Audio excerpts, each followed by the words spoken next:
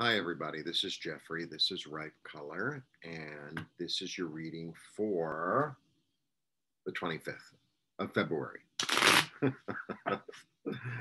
February 25th. I switched my calendar to March. Don't ask.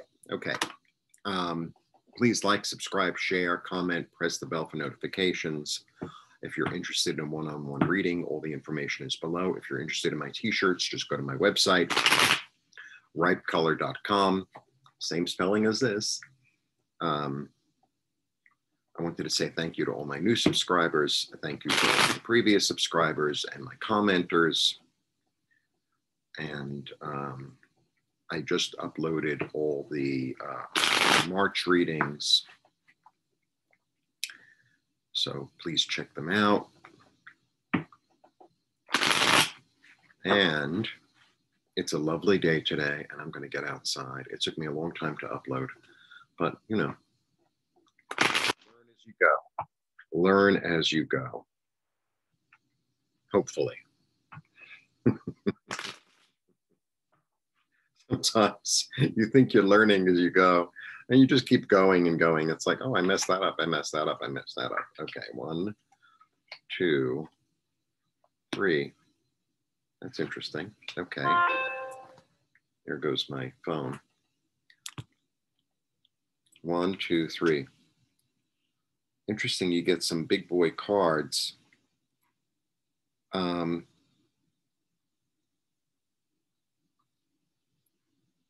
wow. Okay, you know, earlier in the week, it was sort of like, okay, we're all confused, stay still. And now it's really getting to like, let's get going. Um, justice ultimately is about balance, but it's also about truth. And I also feel, you know, there's an illumination. This might have to do, I mean, this doesn't look like it, but there's a full moon coming. So there might be a new energy that you're working with or that you're, um, I don't know, forming. So this this card ultimately excuse me, it's about inspiration, but it's about direction. I always feel like this card, I mean, it's a blessing from above. And I also get the illumination here. I get the illumination here, the illumination here.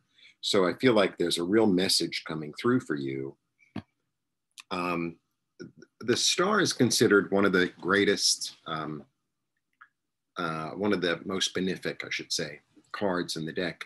And the star, I always feel like this is my calling this is my calling, you know, like I know it's out there, you know, I want to be a farmer. I could feel it in my bones, or I want to be a writer, or I want to, whatever it is.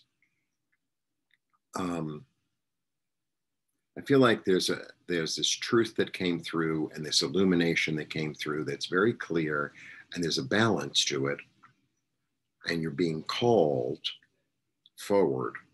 You're being called forward. And this could there's could be uh, it's like a destiny card. I also feel like there's always a healing involved in this card because you know she's working with water. There's no don't get caught up in the masculine feminine because it's not about that. Um, and interestingly here we have i mean this is probably more of an eclipse but you know full moon is coming i guess I can't see from here. Um, I think it's Thursday or Friday this week. And, um, you know, a lot of people see this as walking away. I always see this as walking toward. There's something that was established that feels good and da da da, but it's almost like not enough. It's almost not enough. So, and and you are moving toward your I, this is the spiritual quest as far as i'm concerned for me this card is about the spiritual quest. So it, i mean it all makes sense together. You get this real understanding and this real vision and it's very balanced. It makes sense. The thing is about all this is that it makes sense because this is libra which is a, a air sign and balanced. This is aquarius which really comes uh, intellectually through the mind fixed and then moving into something new. So Yes. Is it time to follow your dreams? Yes. Yes. Like, yes. could I could I be clearer? See. How's that? You know, sometimes it's like we have this uh, notion of like, well, it has to work out this way and that way. We don't really know how it's going to work out. Our job is to be on the road. Our job is to be on the road and to go after what we want. And um, does it always work out perfectly? No, it never works out perfectly. But if you're on the road, then you can see what's ahead of you. You know, you could be going toward. And that's the important thing. That's the important thing. And I really feel also like um, it's time to come out of our slumber and to really go after what we want. Because if we're all going after what we want, then you know it, it's a much more um, hopeful, optimistic road. You know, and this also it's about optimism too. About optimism for me. I hope for you too. And interestingly, so this is indoor, right? This is very indoor. There's a, a slight bit of sky showing. And then it's really an outdoor thing. It's really an outdoor thing. And also because there's water involved and cups involved, this is something that excites you. This is something that makes you feel whole. It makes you feel loved. That makes you feel loving.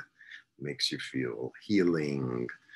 You know, this is, you know, it's not like, well, I guess I'll open the I'll open this sort of business because I'll make money. It's not about that. It's really about doing something that you really love to do, that you're called to do. And you know, it's time to you know start. It's time to start. You know, to like go after what you want, in whatever form that takes. You know, I like to always give examples, but you know, sometimes my examples are so off to the particular person. Um, so I'm not going to give one today. I am going to go out in the sunshine and buy some peppers because I really need some peppers because I want to make some stuff and I don't have any peppers. Um, so, blessings to you. Thanks for tuning in. One on ones available all below, t shirts available on the website, as well as scarves and paintings and bags and masks. And I don't know, there must be something else too. Blessings to you. Thanks for tuning in. See you soon.